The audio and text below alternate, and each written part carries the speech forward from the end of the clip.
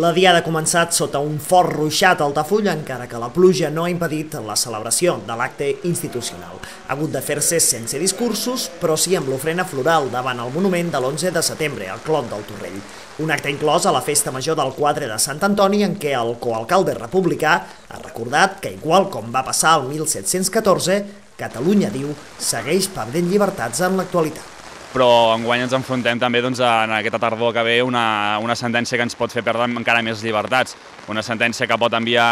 als eh, presos polítics a una condemna de presó exagerada, mm, dura, forta i que pot significar encara més repressió. Davant d'això el que hem de fer des dels ajuntaments, dels pobles i ciutats del nostre país, és eh, una resposta conjunta, una resposta unitària que replegui el, el gran sentit de la, de la població, que és que s'estima la llibertat. Els partits polítics i algunes entitats han fet la seva ofrena floral i després s'han sumat al cant dels segadors sota els paraigües, la forta tempesta que ha caigut al Baix Gaià.